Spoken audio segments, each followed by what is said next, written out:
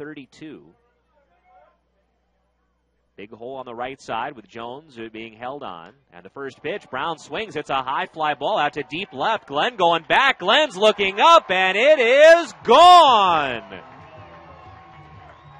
Trevor Brown with his first home run of the season as he deposits one over the wall in left and on one swing of the bat. The Giants have cut the Visalia lead in half now. It's four to two.